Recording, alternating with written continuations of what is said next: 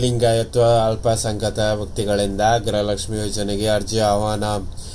ಅದೇ ರೀತಿ ಲಿಂಗಾಯತ್ವ ಅಲ್ಪಸಂಖ್ಯಾತ ಸಮುದಾಯ ಅಥವಾ ಲಿಂಗತ್ವ ಅಲ್ಪಸಂಖ್ಯಾತ ವ್ಯಕ್ತಿಗಳು ಗೃಹಲಕ್ಷ್ಮಿ ಯೋಜನೆ ಅಡಿ ಪ್ರಯೋಜನ ಪಡೆಯಲು ಅನುಗುಣವಂತೆ ಗೃಹಲಕ್ಷ್ಮಿ ಯೋಜನೆಯ ತತ್ವಾಂಶದಲ್ಲಿ ಅರ್ಜಿ ಸಲ್ಲಿಸುವ ಸಂದರ್ಭದಲ್ಲಿ ನ್ಯಾಷನಲ್ ಪೋರ್ಟ್ ಟ್ರಾನ್ಸ್ಜೆಂಡರ್ ಪರ್ಸನಲ್ ವತಿಯಿಂದ ಪಡೆದಿರುವ ಲಿಂಗಾಯತ್ವ ಅಲ್ಪಸಂಖ್ಯಾತರು ಗುರುತಿನ ಚೀಟಿಯನ್ನು ಪರಿಗಣಿಸಲಿ ಸರ್ಕಾರವು ಅನುಮೋದನೆ ನೀಡಿ ತತ್ವಾಂಶದಲ್ಲಿ ಮಾರ್ಪಾಡು ಮಾಡಲಾಗಿದೆ ಜುಲೈ ಎಂಟರಿಂದ ಲಿಂಗತ್ವ ಅಲ್ಪಸಂಖ್ಯಾತರು ಪ್ರಸ್ತುತವಾಗಿರುವ ಜಿಲ್ಲಾ ಮಹಿಳಾ ಮತ್ತು ಮಕ್ಕಳ ಅಭಿವೃದ್ಧಿ ಇಲಾಖೆ ಉಪನಿರ್ದೇಶಕರ ಕಚೇರಿಗೆ ತೆರಳಿ ಗೃಹಲಕ್ಷ್ಮಿ ಯೋಜನೆಯ ಅರ್ಜಿಯನ್ನು ಸಲ್ಲಿಸಬಹುದಾಗಿದೆ.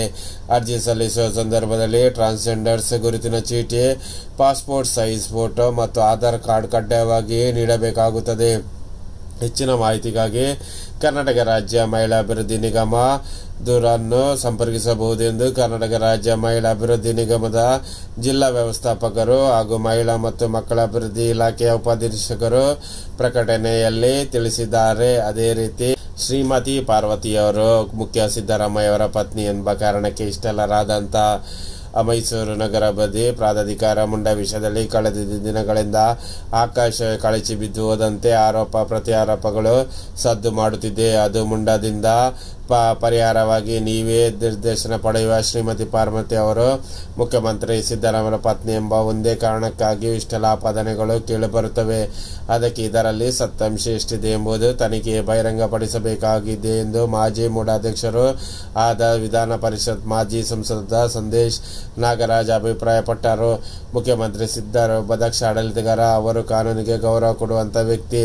ಮೂಡದಲ್ಲಿ ನಿವೇಶನ ಹಂಚಿಕೆ, ಪರಿಹಾರ ಮುಂತಾದ ನಿರ್ಣಯ ನಿರ್ಧಾರಗಳು ಮೊದಲನೆಯಿಂದ ನಡೆದುಕೊಂಡು ಬಂದಿದೆ. ಅದರಂತೆ ಮುಖ್ಯಮಂತ್ರಿ ಸಿದ್ದರಾಮಯ್ಯ ಪತ್ನಿ ಶ್ರೀಮತಿ ಪಾರ್ವತಿ ಅವರಿಗೂ ಪರಿಹಾರವಾಗಿ ನಿವೇಶನ ನೀಡಲಾಗಿದೆ.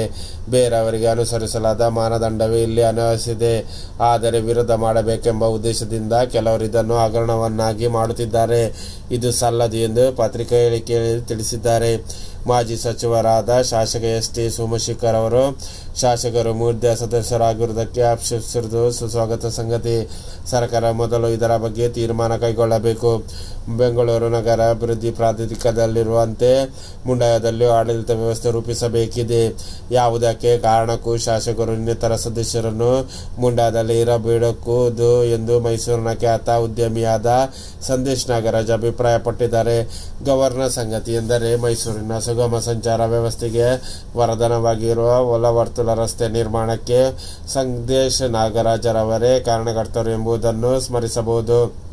ರಸ್ತೆ ಡಿವೈಡರ್ಗೆ ಕಾರು ಡಿಕ್ಕಿ ಪ್ರಯಾಣಿಕರು ಪಾರು ಕಾರೊಂದು ರಸ್ತೆ ಡಿವೈಡರ್ಗೆ ಡಿಕ್ಕಿ ಹೊಡೆದು ಜಖಮಗೊಂಡಿರುವ ಘಟನೆ ಸೋಮವಾರ ರಾತ್ರಿ ಬೊಗದಿ ಮುಖ್ಯ ರಸ್ತೆಯಲ್ಲಿ ನಡೆದಿದೆ.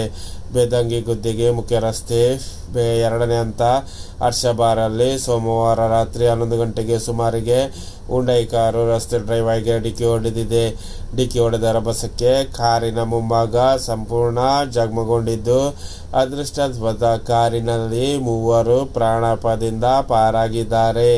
ಕಳೆದ ನಾಲ್ಕು ದಿನಗಳ ಹಿಂದೆಯಷ್ಟೇ ಚಾಲಕನ ನಿಯಂತ್ರಣ ತಪ್ಪಿ ಕಾರೊಂದು ರಸ್ತೆ ಡಿವೈಡರ್ ಮೇಲೆ ಹತ್ತಿತ್ತು. ಈ ರಸ್ತೆ ಹೊಂದಿಕೊಂಡಿರುವ ತಿರುವಿನಲ್ಲಿ ಜಾಗದಲ್ಲಿ ಕಾರುಗಳನ್ನು ತಿರುಗಿಸಲು ಸಾಧ್ಯವಾಗದ ರೀತಿಯಲ್ಲಿ ಅವೈಜ್ಞಿಕವಾಗಿ ಡಿವೈಡರ್ ಅಳವಡಿಸಲಾಗಿದೆ.